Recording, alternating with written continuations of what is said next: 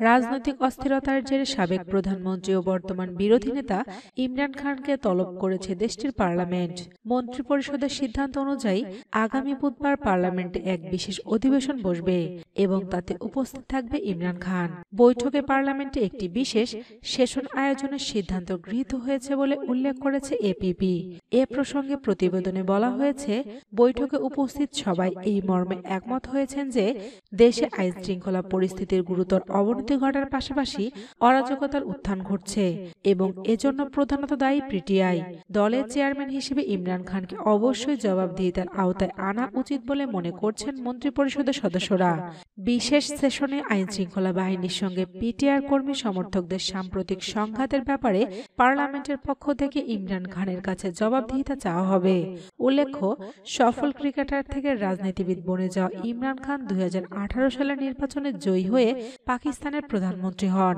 তবে তারপর থেকে দেশটির ক্ষমতা কাঠামোর শীর্ষে থাকা সামরিক বাহিনীর সঙ্গে দূরত্ব বাড়তে থাকে তার। এর মধ্যে দুই সালে পার্লামেন্টের বিরোধী আইন প্রণেতাদের অনাস্থা ভোটে ক্ষমতাচ্যুত হন ইমরান খান। নতুন প্রধানমন্ত্রী হন সাবেক বিরোধী নেতা শেহবাজ শরীফ। প্রধানমন্ত্রীর পদ হারানোর পর থেকে আগাম নির্বাচনের দাবিতে আন্দোলন চালিয়ে যাচ্ছেন ইমরান খান। এদিকে ক্ষমতাচ্যুত হওয়ার পর থেকে ইমরানের বিরুদ্ধে বেশ কয়েকটি মামলা করা হয়েছে এসব মামলার মধ্যে সবচেয়ে আলোচিত তোষাখানা দুর্নীতি মামলা। প্রধানমন্ত্রী থাকাকালে বিভিন্ন দেশের সরকার ও রাষ্ট্রপ্রধান ও সরকারি কর্মকর্তাদের কাছ থেকে যেসব দামি উপহার তিনি পেয়েছিলেন, সেসব রাষ্ট্রীয় তোষাখানায় জমা দেওয়ার ক্ষেত্রে অনিয়মের আশ্রয় নেওয়ায় পিটিআই চেয়ারম্যান ইমরান খানের বিরুদ্ধে এই মামলাটি করেছে পাকিস্তানের নির্বাচন কমিশন। মামলার শুনানিতে উপস্থিত না থাকায় ইমরান খানকে গ্রেফতারে পরোয়ানা জারি করেছে আদালত। সেই অনুযায়ী পুলিশ গত চোদ্দই মার্চ পিটিআই চেয়ারম্যানকে গ্রেফতারে তার লাহোরের বাসভবনেও গিয়েছিল।